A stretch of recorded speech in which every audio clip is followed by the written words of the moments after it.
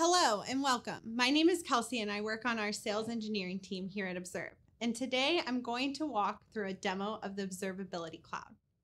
Data is ingested into Observe using open source collectors and does not require certain schemas or structures, reducing operational overhead.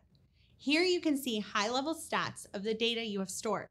There's about 70 or so terabytes in data in total, which includes various log data, Prometheus metrics, OTel traces, and even contextual data like GitHub and Jenkins events. Of the data that is in Observe, about 30% is accelerated.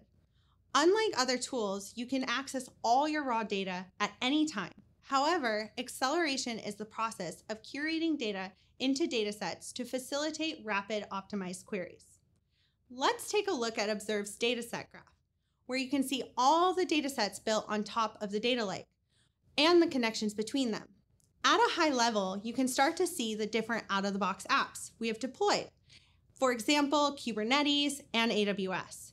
If you want an observable system that enables you to reduce troubleshooting time and increase efficiency, then you need to be able to go from point A to point B without having to know the route, i.e., you don't want your teams to have to have tribal knowledge to do investigations.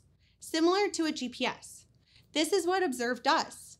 If I click on pod, you can see all the related data sets and all related traces that went through a set of pods. Or if I want to understand the Jenkins builds related to the pods that are restarted. No matter what questions you are trying to ask, GraphLink or these relationships between these out of the box data sets enables you to start anywhere and navigate to various layers of your tech stack quickly and seamlessly without needing tribal knowledge. Let's show this in practice. Let's use the Kubernetes out-of-the-box app as an example. Opening the app will drop us into the out-of-the-box Kubernetes dashboard.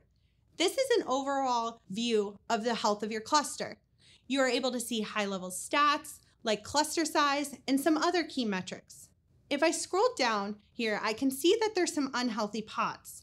Unlike a lot of other dashboards and other tools, Observe's dashboards are actionable, meaning you can use GraphLink to investigate related datasets. Let's drill down into the related pods.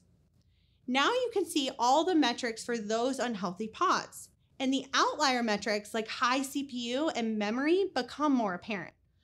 Over on the top in the Activity tab, by default, you can see notifications which are out of the box alerts that have fired to specific teams via different channels like Slack or PagerDuty. But let's take this farther.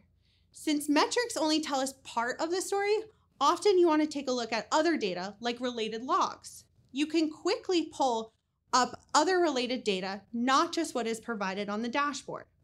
Let's look at container logs. Notice that we didn't have to filter to the same time frame or the pods we were looking at at the dashboard view. It automatically keeps that context as you look at related data. Furthermore, I could seamlessly navigate to all the traces that went through these pods.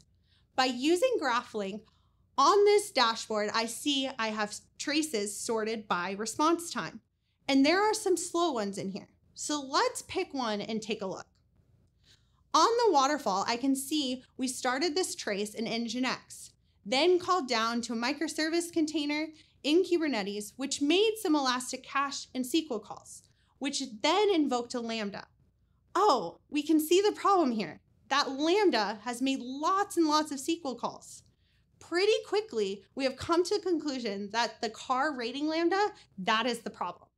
We have some sort of SQL call loop, but what is that SQL call? Let's open one of these up. Here we have the span attributes, and I can see specific SQLs that are being called. Further down this page, I get the tabular view of all the spans, and then below that, all the logs we have across this environment for this specific trace. Thank you.